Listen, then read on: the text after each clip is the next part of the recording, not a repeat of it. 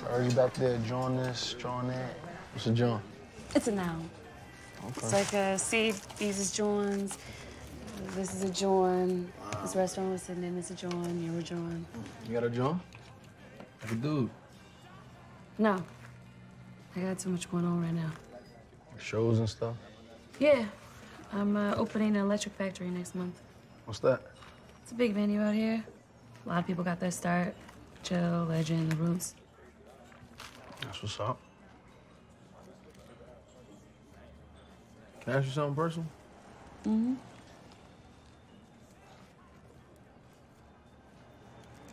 I got progressive hearing loss. Just started wearing these this past year, but I only need them in places with a lot of background noise. For now. So it's progressive, so eventually. Yeah. Yeah. I'm just getting ready for it. Like, um, getting used to these. I'm learning sign language stuff. But uh, I really can only remember bad words, ones that aren't that useful. Like, uh,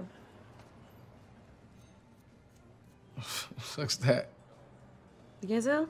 The, the bull, the horns. This is. Yeah, it's bullshit. Uh-huh. That's your favorite? Uh-huh. You don't really seem like a boxer to me. I mean, you, you're in shape and all, but I don't know. Are most boxers like Like what? like street? I'm not saying you're square or anything, but I'm just curious. Like, what made you want to fight? My pop was a fighter. All right, that makes sense. Did he fight pro? Something like that. Does he train you?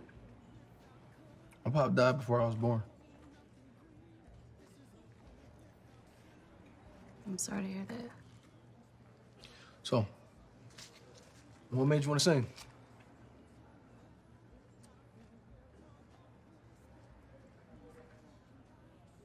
Um, it makes me feel alive. Where's your next show? That place that you saw me at, Johnny Brenda's, I got a residency there, so we're back on Friday. Can I roll with you? I want to show up, you know? Show some love.